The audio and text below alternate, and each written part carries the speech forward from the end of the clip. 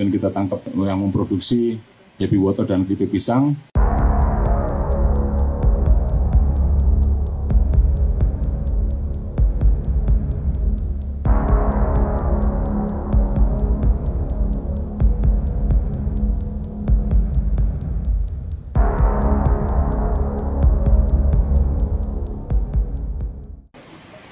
Dari hasil operasi tersebut, kita bisa menangkap tiga orang yang ada di Depok. Itu adalah pemilik akun, pemilik rekening, dan juga bagian yang bertugas nanti untuk menjual barang-barang yang sudah sampai di Depok.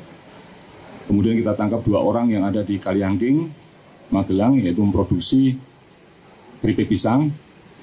Kemudian kita tangkap dua orang lagi di Potorono yang memproduksi happy water dan keripik orang lagi di Potorono yang memproduksi happy water dan keripik pisang dan satu orang kita tangkap di Banguntapan ini. Dari delapan orang yang berhasil kita amankan ini masing-masing memiliki peran yang berbeda-beda.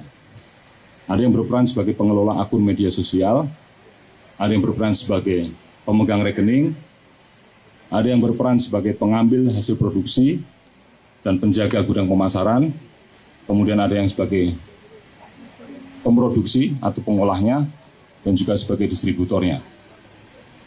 Dan kita saat ini masih juga mengejar untuk beberapa orang DPO lainnya yang masih harus yang masih akan kita cari dan kita tangkap.